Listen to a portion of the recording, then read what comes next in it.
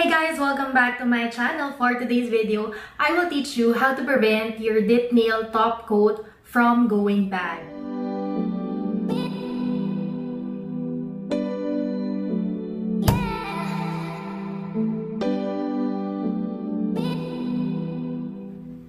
Yes, you heard it right. Not only will I teach you how to use the dip nail system at home, but I will also teach you or help you prevent this from happening. So my top coat has gone bad. So by that I mean it has um, dried like a glue so I can't use it anymore. So I had to repurchase and I after repurchasing I did a little research and um, I found out how to prevent this from happening again. So I'm sharing with you guys so you don't have to waste your money on your top coat.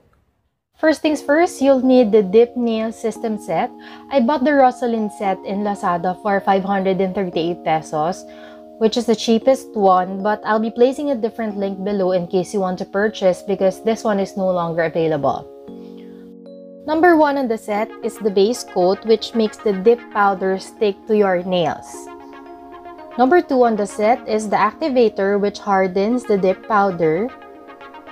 And number three is a top coat which seals the dip powder and gives shine to your nails.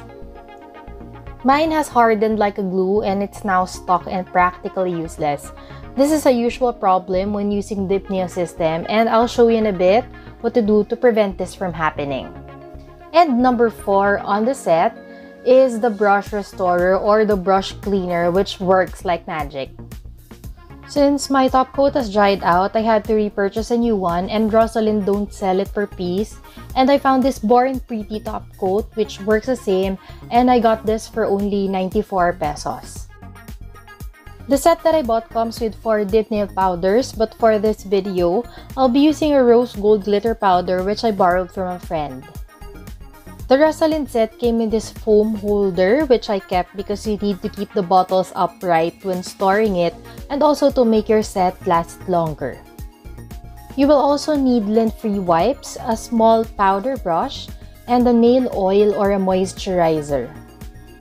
You may start prepping by cutting your nails to your desired length, filing your nails, pushing your cuticles, and putting some cuticle tint to make your nails look fresh and clean. Wipe some alcohol using lint-free wipes to degrease your nails. And now we're ready to go dipping! Oh, and by the way, this is how the glitter powder looks like. First step to the dip nail system is the base coat. For the first coat, cover about 3-fourths of your nail and dip it into the powder. It dries in seconds and brush off the excess powder. Do this again for the second and third coat but now covering the entire nail with a base coat. And of course, repeat this process to all of your nails.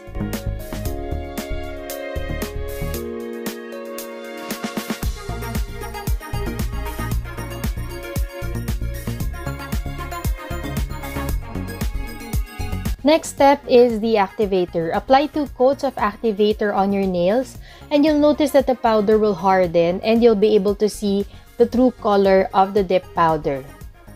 And here's the trick on how you can avoid your top coat from drying.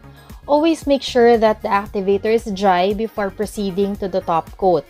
If you want to be extra sure, you can wipe your nail using a lint-free wipe after applying the activator. Last step into the dip nail system is the top coat. Apply one thin layer of top coat to your nail and wipe the brush every time before you dip it back to its bottle. After I spoiled my old top coat, I learned that the activator hardens the top coat, so you must avoid them from touching each other.